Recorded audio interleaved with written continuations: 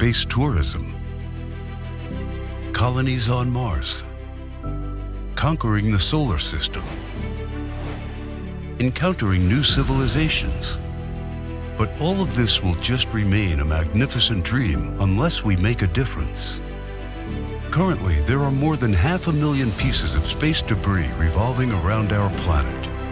And they are moving at a speed of 28,000 kilometers per hour.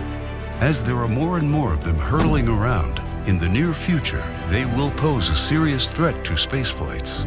Our mission is building a safer world where technology brings endless opportunities to people of today and tomorrow.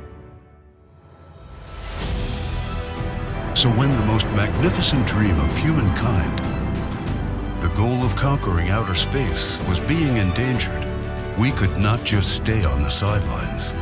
Kaspersky supported the StartRocket team, a group of expert chemists and aerospace technicians who succeeded in finding a solution for removing debris in near-Earth space.